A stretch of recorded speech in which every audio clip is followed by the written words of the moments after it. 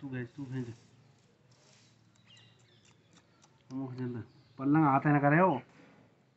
बंद कर बंद कर।